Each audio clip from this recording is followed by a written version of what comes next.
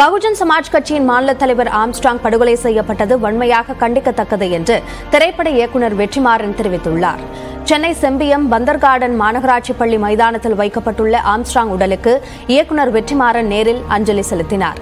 பின்னர் செய்தியாளர்களிடம் பேசிய அவர் ஆம்ஸ்ட்ராங் மிகப்பெரிய ஆளுமை என்றும் இது அனைவருக்கும் ஈடு செய்ய முடியாத இழப்பு என்றும் கூறினார்.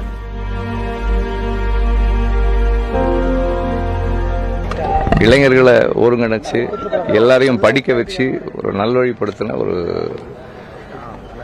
ஒரு ஒரு பெரிய ஆளுமை.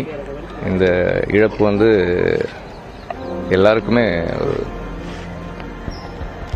ஈடு செய்ய முடியாத இழப்பு. இது வன்மையாக கண்டிக்கத்தக்கது தான். இந்த வன்முறை வந்து வன்மையாக கண்டிக்கத்தக்கது.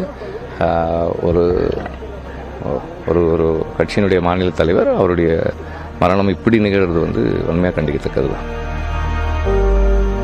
ஒதுக்குறதுல இன்னும் டைம் கொடுக்கல.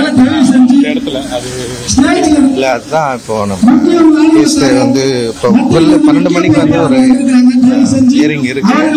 செக் பண்றாங்க ஆப்ஷனல் இடம் கேட்டிருக்காங்க. இப்போ டிஸ்கஸ் பண்ணிட்டு நம்ம சொல்றோம்னு சொல்லி தனியா வந்து ரெண்டாயிரம் ஸ்கொயர் ஃபீட்ல வந்து இடம். அது ஏற்கக்கூடிய சூழ்நிலை ஏற்படும். அது வந்து அக்கா கூட அன்னிக்கிட்ட வந்து டிஸ்கஸ் பண்ணிட்டு தான் வந்து சொல்லணும்னு சொல்லிட்டு எல்லாரும் பிளான் பண்ணியிருக்கோம்